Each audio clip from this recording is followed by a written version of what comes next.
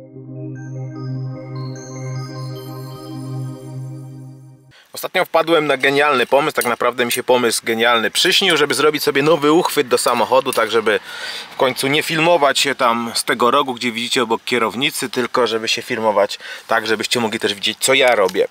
E, Generalnie sam uchwyt kosztował mnie myślę, że 20, a może, no może 30 albo 40 zł, biorąc pod uwagę, że jeszcze potrzebowałem uchwyt do kamery, który dostałem gdzieś w zestawie, ale można taki uchwyt za kilkanaście złotych myślę, że kupić za 15-20 zł na pewno się coś takiego dostanie. Sam uchwyt wykonałem z dwóch takich mm, kształtowników mm, z profilu. E, Jak widzicie na przekroju jest to profil taki e, jak litera U, profil aluminiowy. Zdecydowałem się na profil, a nie na płaskie blachy ze względu na to, że będzie miał on zdecydowanie większą sztywność i nie będzie nam się tutaj mocno wyginał. Jak widzicie osadzone jest to na dwóch e, wspornikach od zagłówka. W zasadzie sprawa była dość prosta.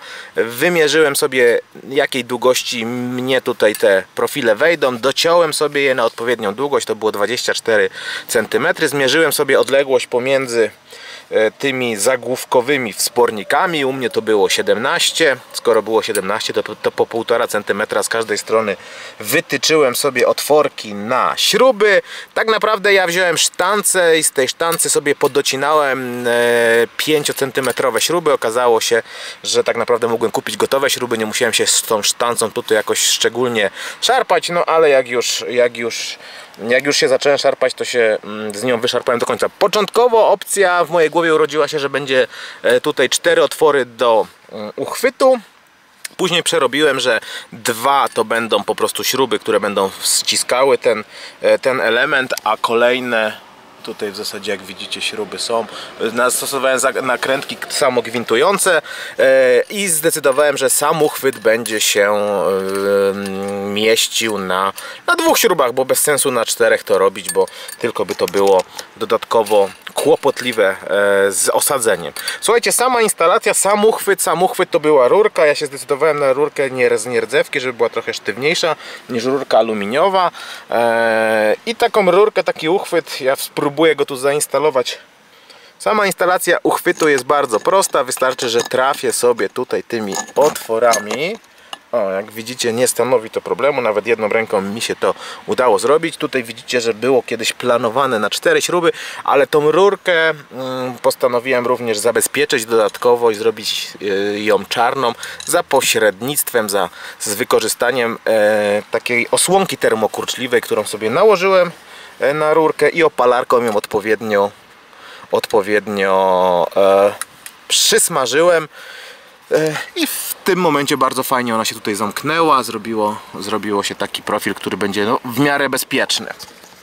Jak widzicie rurkę też można sobie dowolnej długości tą rurkę tutaj zamontować. Ja wybrałem, nie wiem, przypadkową długość. Tak ją dociąłem po prostu, żeby się tutaj mm, bez problemu ten fotel pasażera mieścił. Oczywiście trzeba brać pod uwagę, że to pewnie jest elementem niebezpiecznym i tak naprawdę jeżeli będziemy nagrywać to raczej bez pasa- pasażera. Sam uchwyt na kamerę to jest standardowy uchwyt, który teraz mogę sobie na tej rurce przesuwać w prawo, w lewo, w górę, w dół, czyli w zasadzie wszystkie e, mm, stopnie swobody mam zachowane. Mogę sobie również kilka tych uchwytów na tej rurce zamontować i tak naprawdę nagrywać do przodu, do tyłu, pasażerów i co mi tam mm, do głowy przyjdzie. Uchwyt mam standardowy, taki, że mogę sobie w każdą kamerę, która ma zastosowany e, wkręt pod statyw, e, tutaj tak naprawdę e, wkręcić. Uchwyt jest stały, twardy. Tak naprawdę jeszcze z niego nie nagrywałem, dopiero będę zaraz nagrywał pierwszego vloga, ale na wszelki wypadek mówię, nagram taki materiał, żebyście wiedzieli, wiedzieli jak to zrobić. Jeszcze może zrobię uchwyt tutaj, jak wygląda ten do kamery. Ja miałem jeden standardowy w zestawie. Rurka była o średnicy 2 cm, 20 mm i taka rurka tutaj akurat mi się idealnie wpasowała pod ten e, uchwyt. Jeżeli macie jakieś podobne konstrukcje, to dajcie znać, jak wyżeście to sobie u siebie rozwi- rozwinęli. No ja w ten sposób sobie to wymyśliłem. A jako, że jestem jeszcze z epoki, kiedy oglądało się Adamia, Adama Słodowego, który potrafił wiele różnych rzeczy zrobić ze szpulki po niciach e, i z kartonu, to nic nie stało na przeszkodzie, żebym ja sam siadł i sobie coś takiego w zaciszu domowym przygotował. No i jak na razie z tego wykonania jestem dość zadowolony.